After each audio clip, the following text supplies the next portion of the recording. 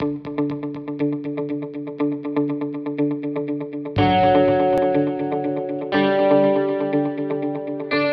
I said earlier, we are in 1 John chapter 5, and I've spent a little extra time in these last few verses of the last uh, chapter as John has been writing to the church. And the reason I've done this is because, well, there's, there's a lot of good stuff, but there's also a lot of difficult stuff in these last few verses. And so I want to spend some time this morning just on two verses, verses 16 and 17. Next week, we're going to be looking, if you wanted to just kind of devotionally read through these verses, we're going to be looking at verses 18 through 20. And then I'm going to do something that I rarely ever do in the last sermon of this series. I'm going to preach on just a single verse, which I don't do very often, but it's kind of interesting that as John is finishing this letter, he doesn't give us a, a farewell necessarily. He just kind of ends with, with kind of an abrupt a sentence in 1 John chapter 5. And so I want us to spend some time on that particular verse and kind of why John ends this letter with that. So that's kind of where we're at. But today we're going to be in 1 John chapter 5, verses 16 and 17. If you have your electronic devices, you're welcome to look up those verses. We're going to have those on the screen for you as well. Or if you like the paper version, which I like, I prefer, uh, that's where we're going to be at today. Every two years, the federal government asks thousands of teenagers dozens of questions to see if they are all right. Beginning in 1991, it has sent the Youth Risk Surveillance Survey to more than 10,000 high school students to ask about bad behaviors. It's essentially asking, how much trouble are you getting into? And the results may surprise you. If you compare their answers to those of their parents in the early 1990s, the answer is really not much at all. Most of the survey questions uh, show that today's teenagers are among, now get this, the best behaved on record. I know, laugh if you will. Just go ahead. Give, give it a good belly laugh this morning. But statistically, I'm going to share these things with you. 10.8% of teens today smoke cigarettes. 20 years ago, 34.8% of high school students did. So we've made some we've made some some progress in the area of some personal habits. Teenagers today are 46% less likely to binge drink than teenagers 20 years ago. I'm just telling you the statistics, whether it's true or not. This is what they're, this is what they're saying. In fact, they're 21% less likely to have, to have ever tried alcohol at all. In 1996, 5.6% of teen girls had babies. Now that number is 2.3. They're less likely to fight at school and more likely to wear a seatbelt they carry weapons to school less than the teens of generations past.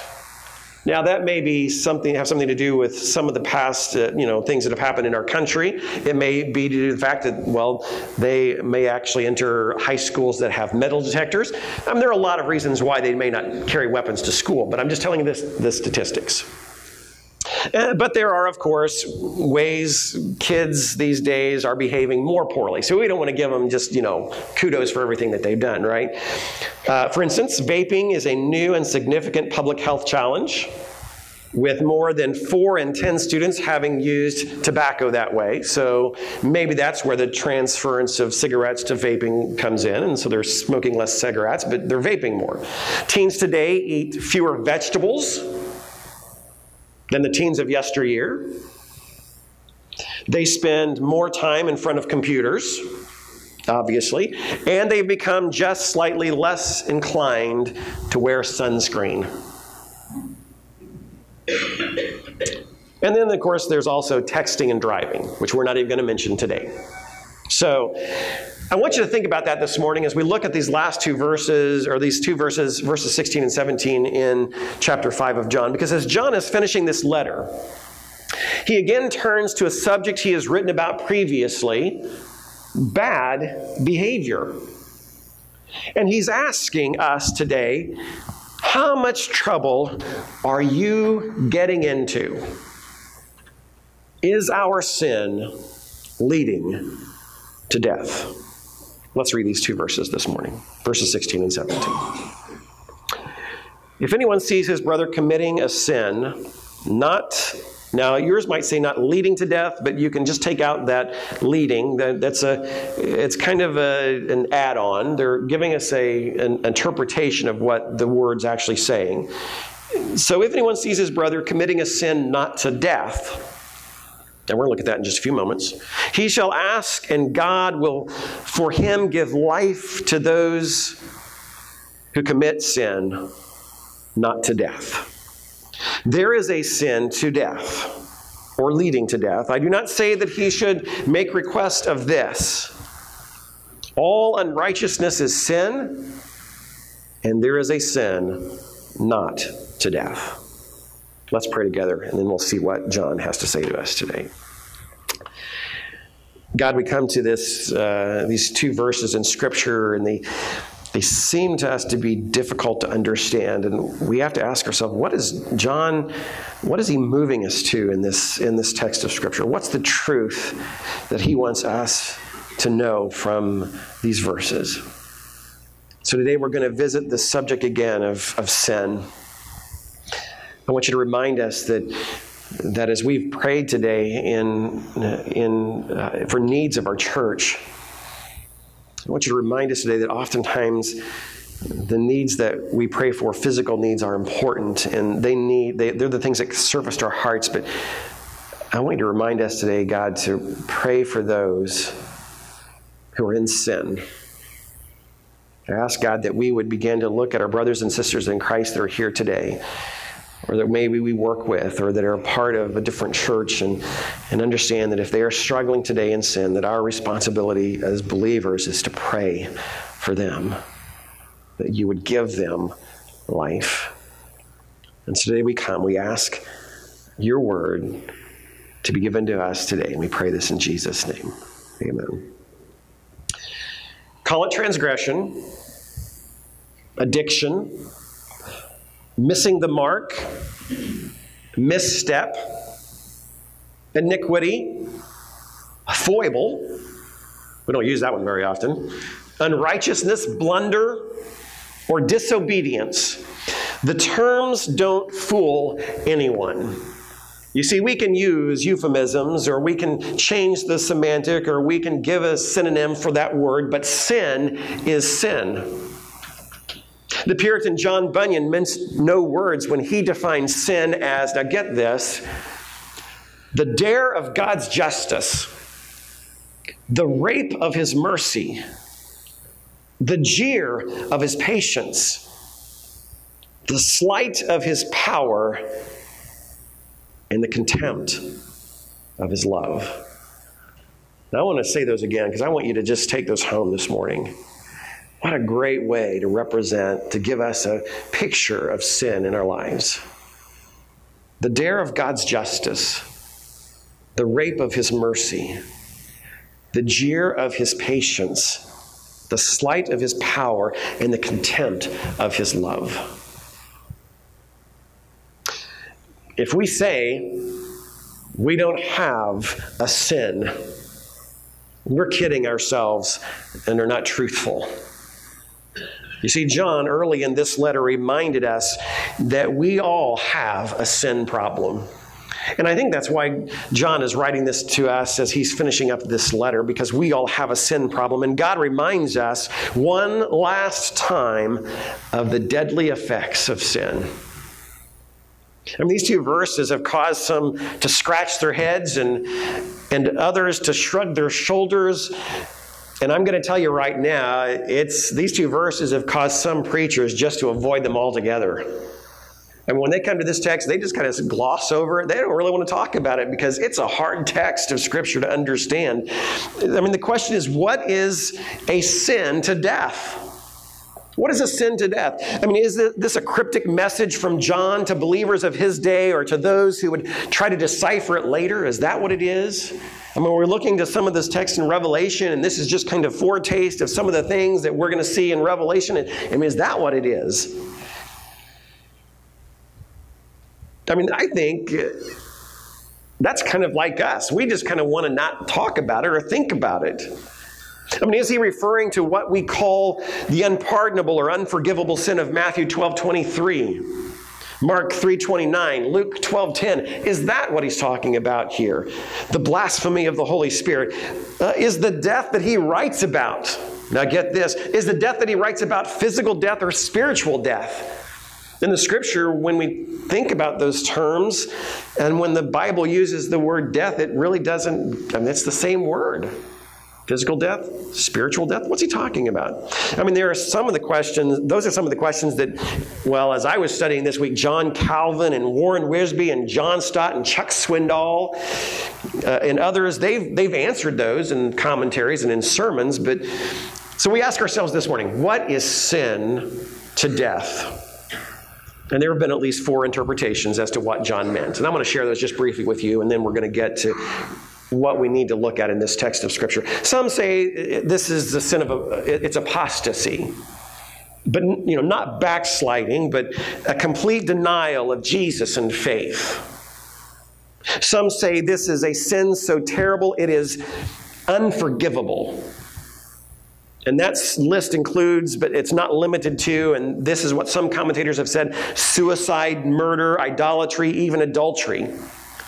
But you see, the only problem with that is that Paul tells us the Corinthian church was filled with some of these very people, and he says they were washed and they were sanctified and they were justified in the name of the Lord Jesus Christ and the Spirit of our God. So I don't really think that's what John was saying here, that this is a, a, sin that's so terrible that it's unforgivable. And that really gives us a sigh of relief, doesn't it, this morning? And we're all kind of breathe easy. Because if we're involved in some of those things or have been involved in some of those things, we've been washed. We've been justified. We've been sanctified. I mean, those are the things that God has removed from us. And so we say, Amen. Amen. All right. Okay. Still, others say, as we said, that this is the blasphemy of the Holy Spirit. I mean, this was the deliberate, open eyed, flagrant sin of the Pharisees who said Jesus' teaching and miracles were from Satan and not the Holy Spirit. Don't ever say that one. That's an uh oh and a no no. But I want you to remember what John has written. He penned this letter so that we may not sin. I mean, he penned this letter so that we may not sin. He encourages us that no one who is born of God practices sin. He will tell us next week that no one who is born of God sins. Because as believers, we have been given a new nature. As believers, we have new desires. As believers, we have new appetites. And our interest in sin is exchanged for the things of God. Yet we are warned that the Christian faces, well, three enemies, all of which want to lead us into sin. And we looked at that in John as well. You remember that a few sermons ago the world, the flesh, and the devil. I mean, that's what we're up against today. So this morning, I want you to understand something as John is pinning this to us. Though we have a new nature, we don't always and won't always yield to it. Now, think about that today. Though we have a new nature, we don't always and won't always yield to it. I mean, it's easy for us to yield to the desires of the flesh. Let's be honest with ourselves today. I mean, that's easy. It's easy for us to yield to the desires of the eyes. It's easy for us to yield to the pride of life. I mean, the atmosphere around us makes it hard for us to keep our minds pure and our hearts true to God whatever we say and however we want to use it, whether we talk about our life in terms of the narrow way or the broad way. We know that the broad way leads to destruction and the narrow way is the one that leads to life, but we understand how difficult it is to stay on the straight and narrow, don't we? And we understand these texts of Scripture because we live these things, and we understand that, that those three things the desire of the flesh, the desire of the eye, and the boastful pride of life those are all a part of us. Paul told us this truth. And this is where I want you to go as we're leading into this idea of what is the sin to death. Just as through one man sin entered into the world and death through sin, and so death spread to all men because all sinned. Now let's look at that again. Let me read it. I'll slow it down. Just as through one man sin entered into the world and death through sin, and so death spread to all men because all sinned. We're all there together. Notice all the alls in that text of Scripture. John tells us there is a sin to death. Now, I thought about that this week, and here's the truth that I came to. I don't think that he's telling us this is a specific sin, but I think he's telling us it's a kind of sin. Let's look at that for just a moment. And the truth is, the Bible mentions people who died because of their sin. Remember Nadab and Abihu? Gonna have to brush off your Old Testament. You know, you've probably not been there for a while, so dust it off. The two sons of Aaron the priest, they died because they deliberately disobeyed God. Leviticus chapter 10, verses 1 through 7. Go back and check it out. Or how about this one? Korah and his clan opposed God and, and they died. In fact, I think if you go back to that text, if I remember correctly, check this one out for me. Number 16, I think that wasn't, wasn't Korah the one that the earth literally opened up and swallowed them whole. I mean, just because they wouldn't follow God. Achan was stoned because he disobeyed Joshua's orders from God at Jericho. A man, a man named Uzzah touched the ark, and God killed him for simply touching his ark. And if we think that only happened in the Old Testament, let's not forget Ananias and Sapphira came together to conspire, a plot to cheat the church and get ahead. Would you like to sing with me in children's church? They knew God's power but didn't fear it, tried to cheat the Holy Spirit, went into the temple, and they both dropped dead. Remember that one? Oh, I love that. That's a great one. Oh, that's a, that's a favorite children's church song right there. Let's send that one home with our kids today. So I thank Children's Church for that song. Some believers at Corinth died because of the way they had acted at the Lord's Supper. Go back to 1 Corinthians 11:30. There it uses the euphemism, they fell asleep. But I think really what he's talking about there is that they misused the Lord's Supper and they died for it. So with Nadab and Abihu, it was, now look at this. With Nadab and Abihu, it was their presumption in taking the priest's office and entering the Holy of Holies. That was their sin. In the case of Achan, it was covetousness. That was his sin. Uzzah, though his intentions were pure, forgot that he was in the very presence of God as he tried to steady the Ark of the Covenant. Now think about that. The right intentions, doing the right thing. And yet God was God. And he was in the presence of God, and God struck him dead. So here's the truth this morning Christians aren't people who never sin. We are, our, we are a people who, who hopefully do our best to avoid sin. I mean, hopefully, we're a people that when we get in the Word of God and the Holy Spirit of God begin, begins to work in us, that He transforms us. We talk about that transformative power of God in our lives. And so hopefully we are a people who do our best to avoid sin because we are a new creation and we are washed and we are sanctified and we are justified and we are born of God. But here's the thing that we often forget when we come together in our prayer time. And here's my challenge for you this morning. When we see a brother committing a sin not to death, the challenge is do we pray for him or her? Because you see, I think we're like Steven Cole as he is talking to us about this text of Scripture. John doesn't say, if anyone sees his brother sinning, go tell the pastor so he can deal with it. Nor does he say, if anyone sees his brother sinning, call up all of your friends and tell them about it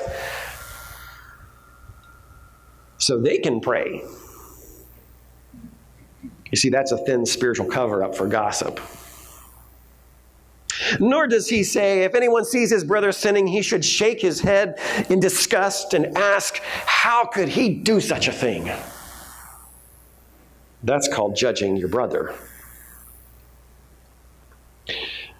Rather, he says that if you see a brother in sin, pray for God to give life to him. While we are all responsible for our own sins, only God can truly deliver us from sin. Because only God can impart life. So we're dependent on God to deliver, but at the same time, the sinning brother is responsible to turn from his sin and take the necessary steps not to fall into it again. And there is the challenge for us today. Before we speak to a brother about his sin, we need to speak to God about the brother.